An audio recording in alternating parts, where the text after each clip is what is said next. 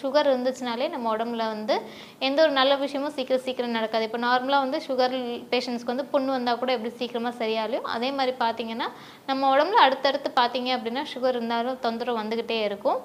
நீங்கள் என்ன பண்ணுறீங்கன்னு பார்த்தீங்க அப்படின்னா வந்து நம்ம ஆவாரம் பூ ஆவாரம் சம்பளம் கிடைக்கும். நம்ம நாட்டு மருந்து கடையில் கேட்டிங்கன்னா ஆவார சம்பள பொடின்னு கிடைக்கும். அதாவது அந்த ஆவாரம் பூ ஆவாரம் பூ இலை அதோட வேர் அதோட தண்டு எல்லாமே பார்த்தீங்க அப்படின்னா வந்து பவுடர் ஃபார்மில் இருக்கும். அந்த பவுடர் வந்து நீங்கள் டெய்லி கஷாயம் மாதிரி வச்சு எடுத்துகிட்டு வந்தீங்க அப்படின்னா உங்களுக்கு சுகர் லெவல் வந்து நல்லா கண்ட்ரோல் ஆக ஆரம்பிக்கும்.